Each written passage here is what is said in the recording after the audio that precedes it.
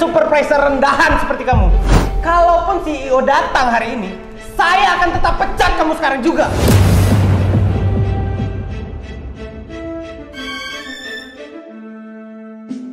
Wah, pas sekali Pak Ar datang.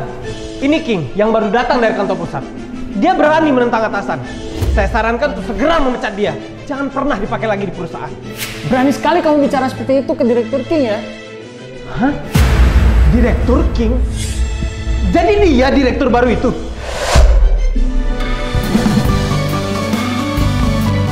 Saya melihat orang yang harus mendapat ganjaran itu adalah kamu. J- jangan direktur King. Saya juga dipaksa oleh orang ini. Kamu Mohon, tolong jangan pecat saya direktur King. bukan hanya menutupi kesalahan masing-masing, tapi juga melakukan kejahatan terencana. Kalau ada yang masih mau dikatakan lagi,